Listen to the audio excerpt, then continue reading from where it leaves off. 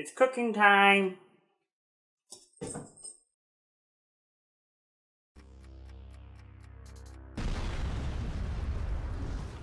Hey Bomb Squad, welcome to DigiBombs Versus, where it's me against the world, or whatever I'm up against at the time. And in this case, it's making a Master Chef, where this week we're going to be tackling mashed potatoes. I know it's not a pie like I said, but due to time constraints, this is literally all I have in my kitchen. So this, we're gonna go with this. Next will be the pie. So there's still time to get in your votes for uh, what pie I should make. So because I haven't got, been able to get any ingredients. So definitely send in those votes. Comment down below what I should do, and uh, maybe you'll see yours next week. Otherwise, I'll always have other weeks to do them. But for the time being, we're going to be doing mashed potatoes. So uh, we got our potatoes, our butter, and our salt and pepper. We're gonna need lots of pepper to please the fiance, so uh, make sure I gotta do extra that. But the slight different here is we're gonna be doing milk and some whipping cream because we're gonna be beating them after they're all, uh, you know, peeled and put in the boiling water to get them all squishy, and we'll just them. And then we're gonna we're gonna beat them until they get their they're light and fluffy because it, it won't be as dense, especially if you ever reheat them. They, they're better that way, and they'll hold all your gravy. Mm. I don't have gravy though, so we're just gonna just go with the basic mashed, mashed potatoes. Um, I wish I could make gravy. Ooh, that'd be good. Well, probably not if I made it, but there's next year. We'll get there eventually.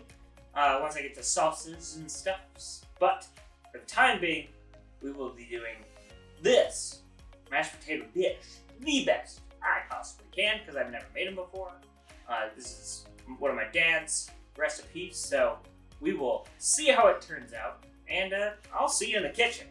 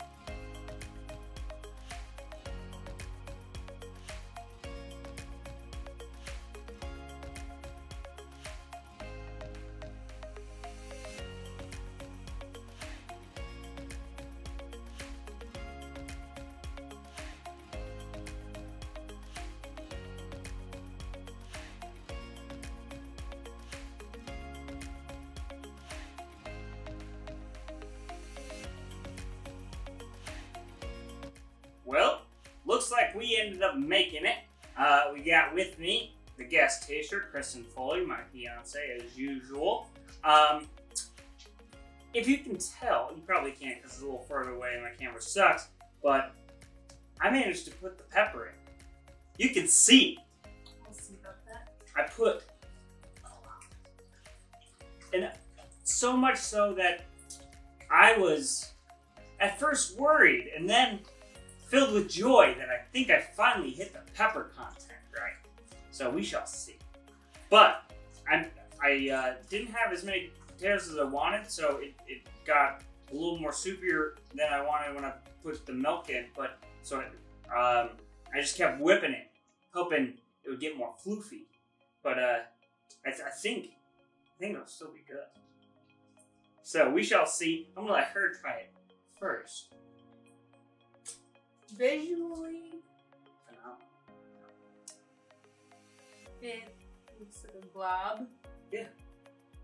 Not a nice fluffy pile scoop potato, but let's try it. Put stuff on top of it. What's that?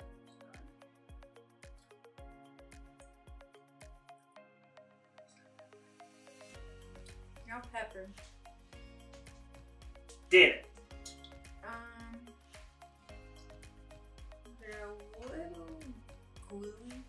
Texture. What? Not as fluffy. Um, which also helps is if you heat your cream and your milk beforehand and then slowly add it in, you probably wouldn't have needed as much liquid. But otherwise, I mean, you have plenty of pepper, plenty of salt. That's one of the main things is mashed potatoes that a lot of people don't do is add a lot of salt and pepper to them for so much pepper. Oh, all in all, I You see what I'm dealing with? This is an, a, an absurd amount of pepper. I made it blatantly obvious. This was not real, a real episode. This was a prank episode on her. I was gonna get that pepper more than enough, and she's like, "Oh, that's right. That's that's that's just the amount of pepper," and I'm dying here. I think you did a good job for first time making mashed potatoes. I'm.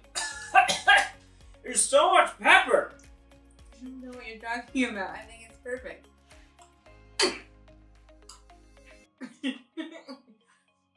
I'm living with a psychopath. it tastes good. I actually I like it, but um, oh, it's like a peppery ninja's just speed bagging my uvula in the back of my throat with all this pepper. but the flavor is good. Uh, I was also worried when I put a full stick of butter in here. yeah, I mean it's buttery, that buttery flavor, but yeah, you It could tastes good. Oh, is it good? you could cut down on the Oh. The pepper know. content? you can cut down on the liquid to make them less to make them more of a fluffy. Yeah, mouthfeel. It was it was fluffy until I added the regular milk. Maybe I should have just kept with the uh see it's, it stayed.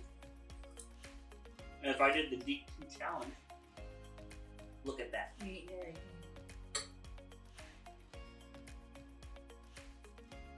Close enough.